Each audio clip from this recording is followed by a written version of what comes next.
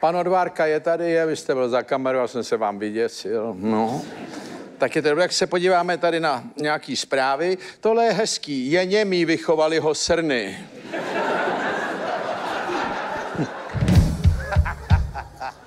je dobrý.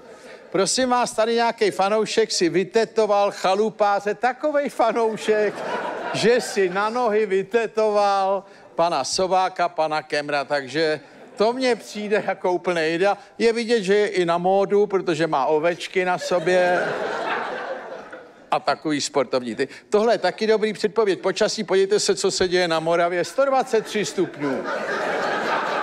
Tam je opravdu teplo. Eh, No, tady svědkyně nakreslila naprosto ob, směšný obrázek zloděje, policie šla na jisto. To se podíváte a víte, kdo to byl. Rovnou. Tohle je taky dobrý, tady je dobrý ten popisek. Seru na to, budu kytka.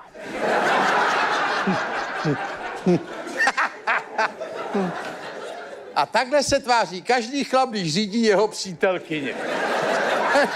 A ta je nadšená.